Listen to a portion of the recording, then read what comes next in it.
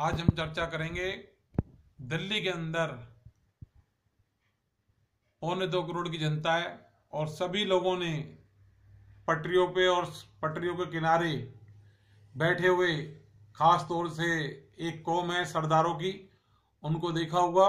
जो ताला चाबी बनाने का काम करते हैं और गलियों में भी फेरी लगाते हैं। इनका भी समाज में एक अभूतपूर्व योगदान है लेकिन पिछले सत, पिछले सत्तर सालों के अंदर लगभग सभी राजनीतिक पार्टियों द्वारा इनका बहिष्कार किया गया है और इनके पुनर्वास के लिए किसी तरह की कोई योजना किसी भी सरकार ने नहीं बनाई, क्योंकि संख्या में इनके पास वोट कम है, लेकिन इनके अधिकार के बारे में कोई बात नहीं करता, किसी तरह का इनको कोई दर्जा नहीं दिया जाता। इन लोगों की भी मांग है कि कई तरह के भ्रष्टाचार, कई सरकारी एजेंसी के लोग इनका साथ करते हैं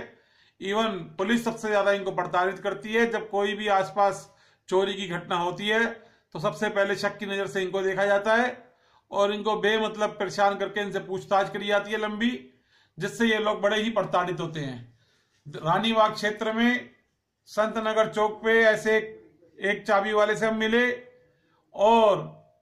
शुभ एंकले पीतमपुरा मंगोलपुरी थाने के अंदर हम एक चाबी वाले से मिले और अशोक यार में एक चाबी वाले से मिले और इन सब लोगों से हमने जानने का प्रयास किया कि इनकी क्या समस्याएँ हैं और सरकार से क्या मांग है। तो इनकी यही बात थी कि हमारे को और हमारे परिवार जन्म से ही हम लोग अनपढ़ होते हैं और हमको पढ़ने लिखने का मौका नहीं मिलता, आर्थिक तंगी के कारण हम इस काम में लग जाते हैं। और हमारे ठैये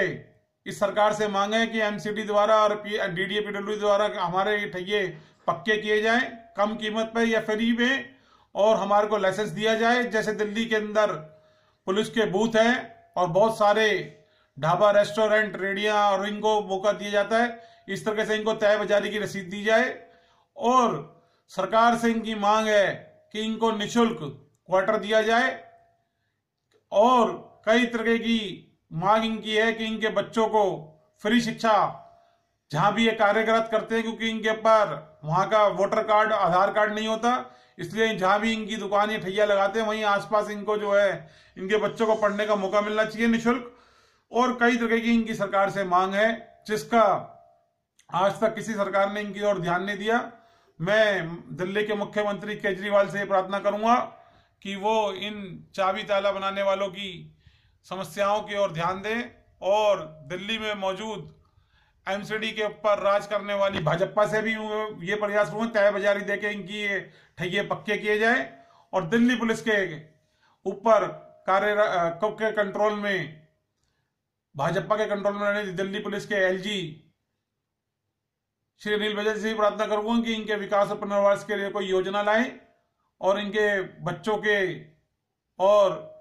पालन पोषण करने के लिए, इनके परिवार के लिए एक विशेष एक पैकेज की घोषणा करी जाए। इसी के साथ आज की शब्दावली को बना देता हूँ। जय हिंद जय भारत।